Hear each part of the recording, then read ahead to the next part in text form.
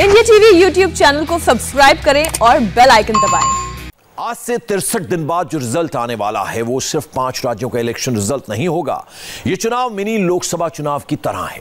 दो मई को भारत के दो छोर, पूरब और दक्षिण का मिजाज पता चलेगा।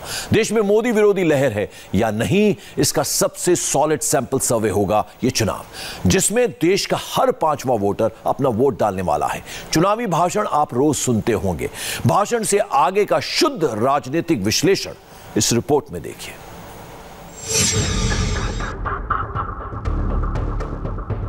तिरसठ दिन आठ चरण आठ नेता और पाँच राज्य। सबसे बड़ा चुनावी मुकाबला।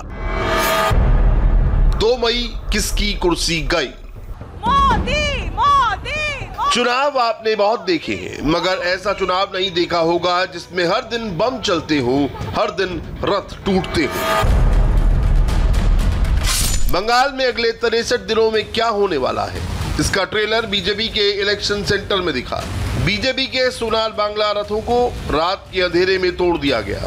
आरोप ममता दीदी के गुंडों पर है। वो आधी रात को दीवार फांद कर आए, पत्थरबाजी की लाठी डंडे मार मार कर रथों के कांच तोड़ दिए और इन पर लगी एलईडी लाइटें अपने साथ ले गए बीजेपी ने हमले का एक वीडियो भी जारी किया है। करीब 20 से 25 लोग यहाँ बीजेपी के लोखो सोनार बांग्ला रथों में तोड़फोड़ मचाते हुए दिख रहे हैं। कोलकाता के कादापाड़ा इलाके में बीजेपी इलेक्शन सेंटर का वेयर हाउस है। वहीं ये रथ खड़े थे। India TV reporter Archana Singh ने ग्राउंड ज़ीरो पर जाकर गुंडों के उत्पाद के सबूत को अपने कैमरे में कैद किया। इस वक्त हम हैं बीजेपी के वेयर हाउस में, जो कि कोलकाता के काडापारा में है। यहाँ पर कल रात 15 से 20 लोग आए और उन्होंने बीजेपी के जो रथ यहाँ पर खड़े हुए हैं, उनमें तोड़फोड़ की। ये देखिए, ये रथ यहाँ पर खड़ा हुआ था। इसमें तोड़फोड़ की गई है। इसके शीशे को तोड़ा गया है। बीजेपी का आरोप है कि टीएमसी के 15 से 20 गुंडे दीवार फांद कर उधर से आए और उसके बाद उन्होंने इन रथों में तोड़फोड़ की है, जो यहाँ पर बीजेपी के वेयर हाउस में खड़े हुए हैं।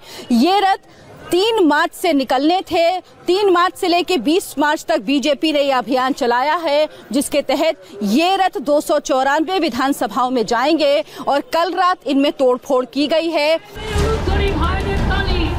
बीजेपी का कहना है कि बंगाल में टीएमसी की उल्टी गिनती शुरू हो चुकी है। दीदी ने उनका रथ तोड़ा है। अब वो दीदी का घमंड तोड़ेंगे। मगर ममता बनर्जी तो हिंदू वोटों के लिए यज्ञ पर बैठ गई। भतीजा भी पूजा पाठ पर बैठ गया है। नतीजा क्या होगा? चुनावी महायज्ञ में उतरने से पहले ममता बनर्जी ने कालीघाट के अपने घर में भगवान जगन्नाथ का यज्ञ किया। यज्ञ के बाद हवन हुआ, जिसमें ममता ने खुद भी हिस्सा लिया।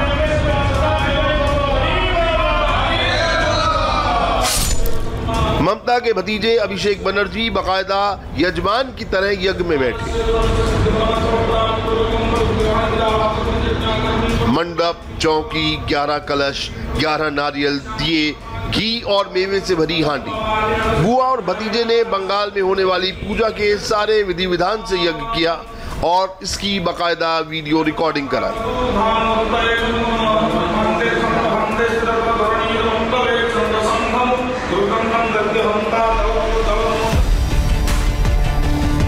आठ चरणों में हो रहे बंगाल चुनाव में ममता बनर्जी को डर है कि हिंदू वोट उनसे छटक कर बीजेपी के पाले में चले जाएँगे। बीजेपी ममता पर मुसलमानों के तुष्टिकरण के आरोप लगाती है। जय श्री राम के नारे से ममता के चिड़ने को मुद्दा बनाती है। ऐसे में यज्ञ की तस्वीरों से दीदी का नया चुनावी पोस्टर बनेगा।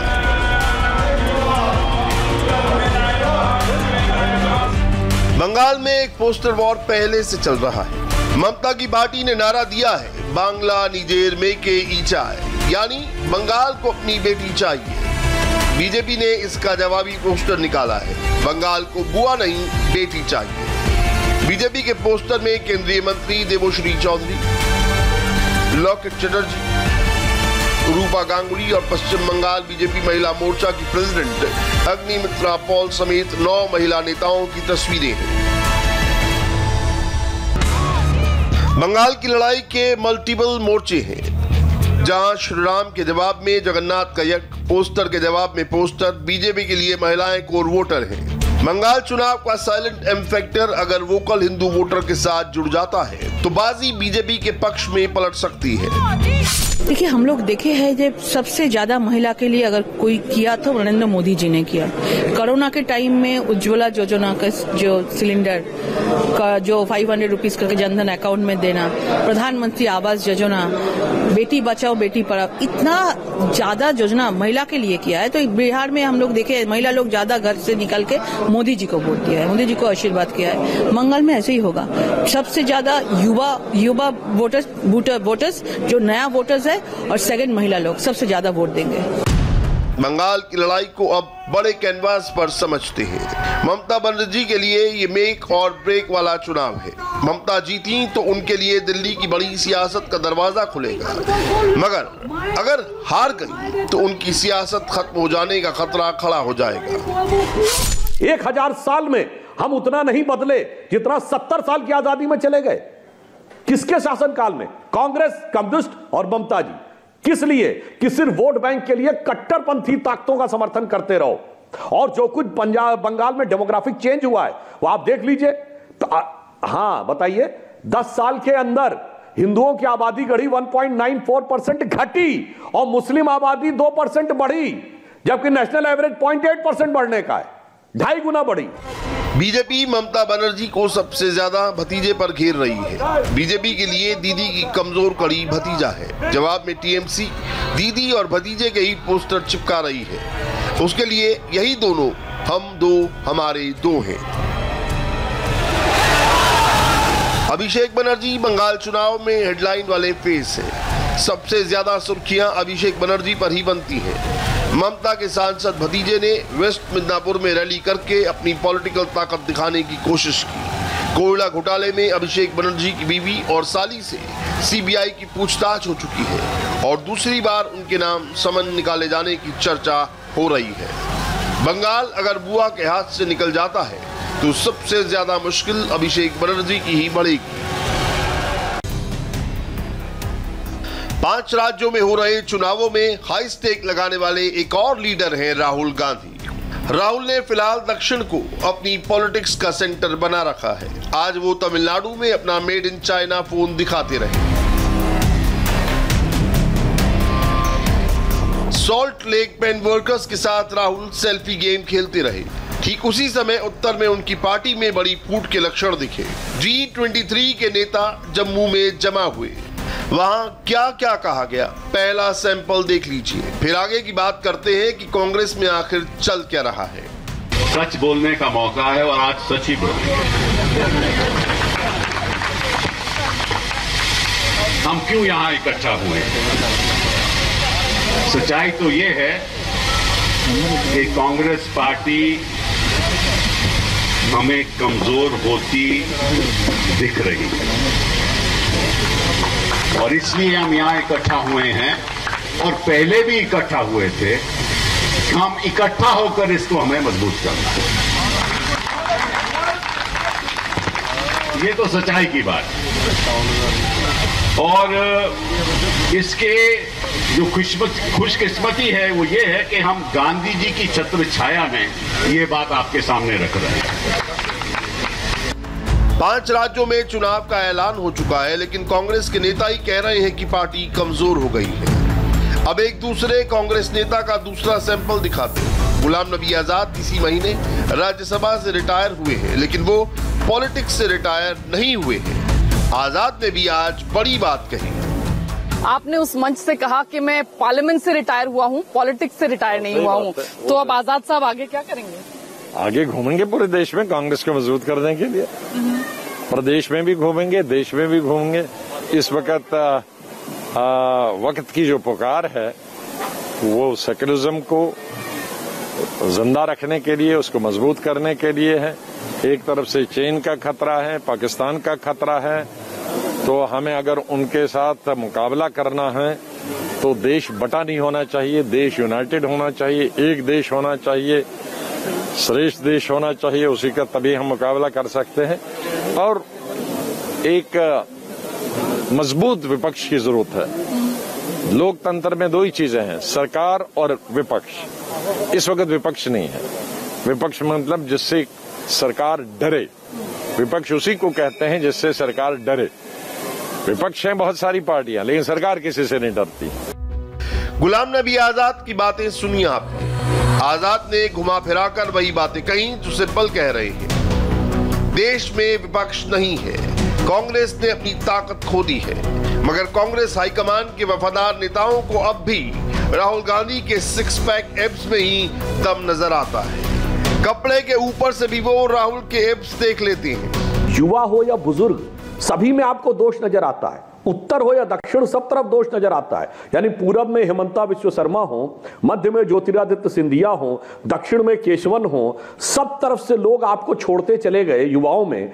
अब जो बुज़ुर्ग हैं, चाहे कपिल सिब्बल हो, चाहे आनंद शर्मा जी हो, चाहे गुलाम नबी आज़ाद जी हो, ये सब आपको सब भाजपा के पक्ष में नज़र आने लगते हैं। तो इस पे तो मुझे एक ही पंक्ति याद आती है रामचरित मानस में लिखा है भय जी सचिव वैद गुरु तीन जो, प्रिय बोले भय आस। राज धर्म तन तीन का होए बेग ही नाश।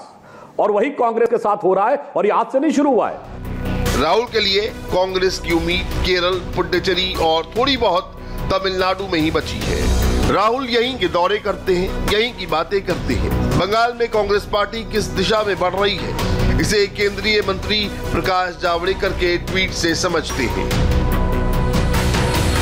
कांग्रेस के एक नेता पृथ्वीराज चौहान पश्चिम बंगाल में आठ चरण में चुनाव पर सवाल उठाते हैं। वही बंगाल कांग्रेस के बड़े नेता अधीर रंजन चौधरी चुनाव आयोग के फैसले की तारीफ़ करते हैं। पृथ्वीराज चौहान की लाइन ममता बनर्जी वाली है। अधीर रंजन अपनी अलग लाइन लेकर चल रहे हैं। अब ये पार्टी को तय करना है कि वो किस लाइन पर चले। राहुल गांधी केरल में लेफ़्ट के गढ़ पर पंजा मारने की कोशिश कर रहे हैं। तो बंगाल में कांग्रेस ने उसी लेफ़्ट से हाथ मिला रखा है। कांग्रेस की ओरिजिनल सोच क्या है? ना नेताओं को पता है, ना कार्यकर्ताओं को। कोलकाता के ब्रिगेड ग्राउंड में लेफ़्ट बड़ी रैली प्लान कर रहा है। लाल झंडा लगाने के लिए लाल मंच बनाया जा रहा है। इसी मंच से लेफ़्ट के नेता कांग्रेस के साथ मिलकर दीदी और मोदी पर एक साथ वार करेंगे। योजना साढ़े सात लाख लोगों को यहाँ लाने की है। हालाँकि लेफ़्ट को भी मालूम है कि उसकी अस्थि लड़ाई केरल में है, जहाँ उसे सरकार बचानी है। केरल में अगर लेफ़्ट हार गया तो दिल्ली बॉर्डर पर लेफ़्ट चाहे जितने झंडे लहरा ले, भारत के नक्शे में लेफ़्ट को ढूंढना मुश्किल हो जाएगा।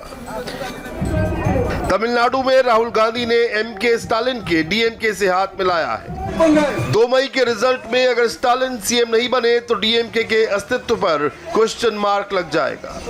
ये द्रविड़ पार्टी पिछले दस साल से सत्ता से बाहर है। पाँच साल का तीसरा वनवास डीएमके बर्दाश्त नहीं कर सकती।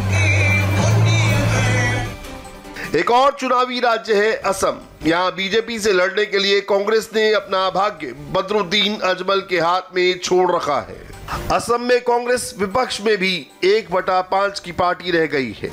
बदरुद्दीन अजमल असम में महागठबंधन बना रहे हैं, जिसके लिए वो सारे मोदी विरोधियों से हाथ मिलाने को तैयार हैं। असम में आरजेडी का कोई वजूद नहीं, लेकिन बदरुद्दीन अजमल तेजस्वी यादव से भी मीटिंग कर रहे हैं। अमित शाह जी भी घबराए हुए हैं और मोदी जी भी घबराए हुए हैं। और आगे जो मोदी जी का ढेव था, वो ढेव तो नहीं है, बल्कि सारे ढेव को एक जगह जमा करते थे।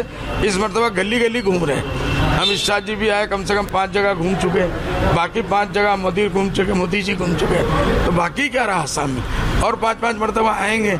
इससे मालूम हुआ कि उनकी गद्दी हिली हुई है घबराए हुए हैं। और उनको मालूम है कि इस मरतबा वो लोग जीतने वाले नहीं है।